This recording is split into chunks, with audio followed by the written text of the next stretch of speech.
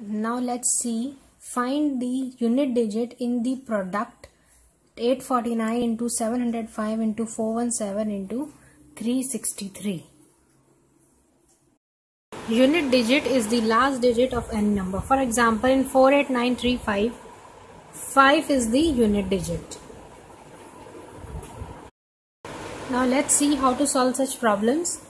Take the last digit from each number that is 9, 5, 7 and 3. First of all multiply 9 into 5, 9 5 is 45. 45 last digit is 5.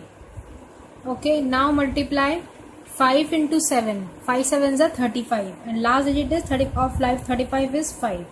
5 into 3 is 15 last digit of 5 is 15 is 5 so your answer is 5 that is the unit product of the uh, unit digit of the product is 5